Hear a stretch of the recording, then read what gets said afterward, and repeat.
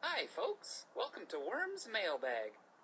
Today's letter comes from Herbert in Pataskala.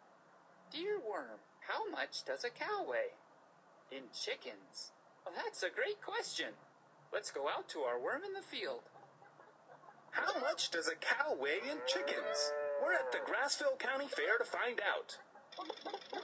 198, 199, 200, 201. Holy moly! There you have it, worm. A cow weighs exactly 201 chickens. 201 chickens. Fascinating. Well, that's our show for today.